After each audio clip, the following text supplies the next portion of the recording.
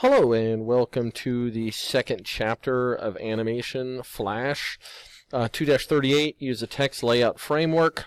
You'll also notice that I've lo I've already loaded fl2 underscore 4.fla. And then what I'm going to do is I'm going to uh, start to play around with this text box. So the very first thing I'm going to do is I'm going to click my text tool. So I'm going to go ahead and click my text tool. I have my text box selected and I want to make sure that this says TLF text. Uh, there's two different options here. There's classic text and TLF text. I want to make sure TLF text is selected. Um, what we're going to do is we're going to bring up the containers and flow box here. Now I'm going to get rid of this right here, but my containers and flow. And then what I want to do is click the behavior list arrow and click multi-line. So you'll notice my behavior list. So if I have single line, it'll look like this. If I say multi-line no wrap, it'll look the same, meaning it's not wrapping. If I do multi-line, it includes wrapping so I can actually see all the items here. It says change the column value to 2 to 3 and then back to 1. So what's going on here is I come along and see where my columns. If I change it to 3, all that does is that breaks up my text into three columns. Good for uh, newspaper layout and things along those lines. So I'm going to change it back to 1 now. Alright, it says uh, point to the middle hand on the right side.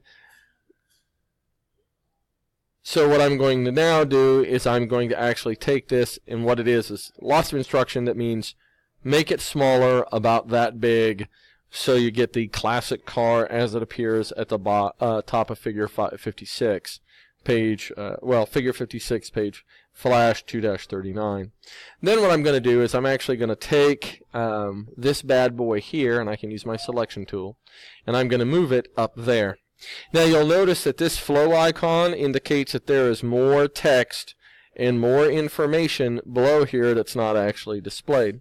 Now, on the instructions on Flash 2-39, uh, I was looking all over for the container button and things along those lines. And the way I solved it essentially is I created a text box. Here's my text box, right? Okay, here's my text box. So I've created my text box. Now what I do is when I click this right here, I can actually take this, and you'll notice my, eh, right? I can actually take my mouse pointer over this, and you see that button right there where it has the two links? What I can do is I can grab that, and I should be able to link them. I did this last time. So give me just one little minute, little technical. I played around with it a little bit. You'll notice right here it has a linking icon, so I have it selected. Right now it's a broken link. If I take my mouse pointer over here, that's where that selection tool appears after I've drawn the text box. And now when I actually click it here, you have the link. What that will do is that'll link these two together so anything not shown in the first text box is actually shown in the second text box. So now what I do, what I have, what I do, what I have to do is there's my, it goes to where it says car and then I'm going to change it to where it says including the, right? So it's right there. And it really doesn't matter to a certain great great extent for me if what appears over here is what appears over here. I just need to make sure that, okay, this box is wide enough to display the other pieces of information. So now I go back here, and I'm good to go where that's concerned, and I grab this. Okay, so now I've selected both of them, I've put them together, and we're, we are absolutely golden. So I can take this bad boy up here if I want to, and I can put it here. So we've done that. Drag the second container position from figure 58. So page uh, flash 2-40, figure 58. I've kind of made it look like that. Um, then we want to do, now it says click the heading. So when we're actually clicking the heading, I want to click here, and then I want to, it says click the heading, click the rotation list arrow in the character area. So, if I'm clicked in here, and I look over here, I find the character area, and on the properties panel, and I want to click my 270 degree rotation. So where it says rotation, I'm going to put 270 degrees. Now I've actually changed it where it says 270 degrees, and I want to do modify, and I want to do transform, and then I want to rotate 90 degrees clockwise, which is going to take me this way. So now I've actually taken this heading and I've put it here. Now, and it should look similar to figure 60 and then I can use my arrow key to kind of rearrange that. And then in the container border color icon. So if I'm looking over here and I look for my the pencil option, which is right here. I'm actually going to change that to black. So I'm making the border to be black. And then this next one where I have this, what I'm going to do is I'm going to click on, this is 18 flash 2-41.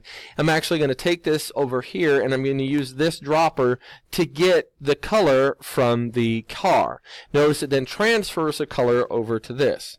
Now, I'm going to click the text tool right here and I'm going to choose nickname the 57 Chevy in this particular box, right?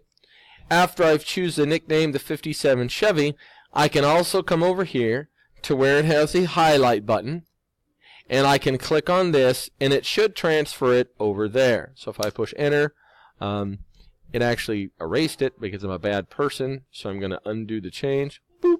So it should now have it actually highlighted and if I click on the selection tool, then indeed it'll actually have it highlighted and I'm good. Alright, now this was kind of a short video because this finished out the second half of our uh, lesson 4, but this actually covers our total lesson 4 covered drawing different text objects. It covered modifying those particular text objects. It color it it covered the actual coloration of those text objects, and it and it covered all the elements involved in the creation that we had to work with. All right, so at this point in time, the next section will be on lesson five. So if you have any further questions, uh, feel free to ask me. Otherwise, good luck and uh, have fun.